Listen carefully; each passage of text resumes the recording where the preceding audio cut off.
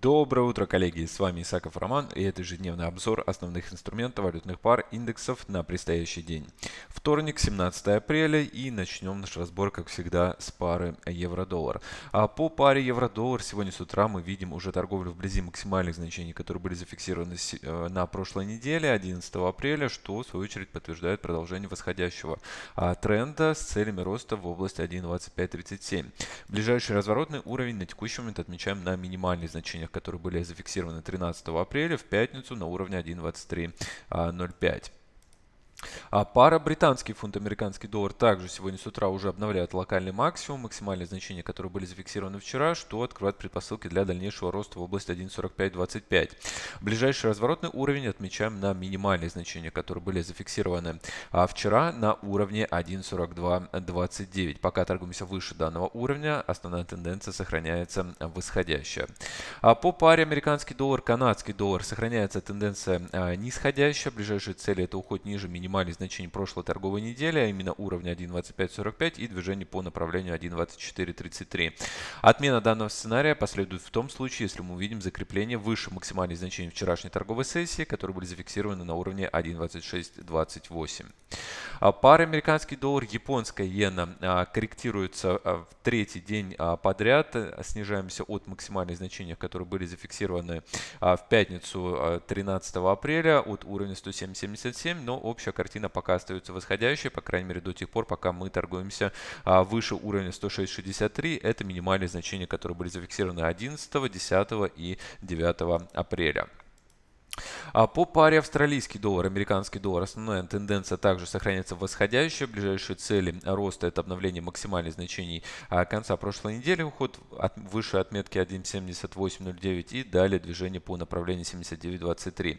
Ближайший разворотный уровень на текущий момент отмечаем на минимальные значения, которые были зафиксированы 12 апреля на уровне 77.38. После преодоления максимальных значений а, пятницы данный уровень будет смещен уже на минимальное значение понедельника, вчерашнего, вчерашней торговой сессии. А по паре еврофунт на текущий момент тенденция нисходящая а, сохраняется. Ближайшие цели по снижению это уход ниже минимальных значений а, пятницы и понедельника и движение по направлению 85-58. Отмена данного нисходящего сценария последует в том случае, если мы увидим обновление максимальных значений, которые были зафиксированы вчера в понедельник на уровне 86-67. А золото продолжает свой рост. Следующие цели это а, обновление максимальных значений 11 апреля, уход выше уровня 1365 долларов за тройскую унцию, ну и далее движение по направлению 1382. А ближайший разворотный уровень на текущий момент отмечаем на минимальных значениях 10 апреля, это отметка 1331 доллар за тройскую унцию. А по нефти марки Brent у нас несколько дней э, сохраняется боковое движение с верхним диапазоном 73.58 и нижняя граница это 71.04. Основное направление остается восходящее, поэтому ближайшее э, предполагаемое движение это возобновление роста в область 75. Ну а в том случае, если мы увидим закрепление ниже уровня 71 а, доллара за нефть марки Brent, то мы можем ожидать следующего коррекционного импульса по данному активу. Но пока торгуемся выше данного уровня, основная тенденция сохраняется а, восходящая. По индексу DAX также а, рост сохраняется. Ближайшие цели это обновление максимальных значений а, понедельника, уход выше уровня 12555 и движение далее по направлению на 12900. Ближайший разворотный уровень отмечаем на минимальных значениях прошлой недели. Это уровень 12259.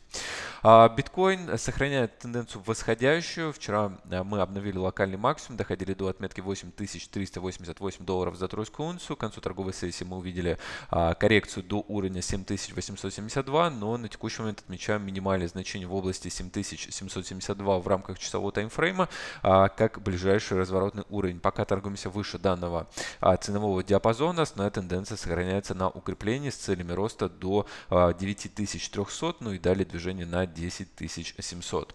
Итак, коллеги, всем спасибо за внимание. С вами был Усаков Роман. Как всегда, напоминаю, что если вам нравится это видео, оно для вас полезно, то не забывайте ставить лайк и ваши вопросы писать в комментариях.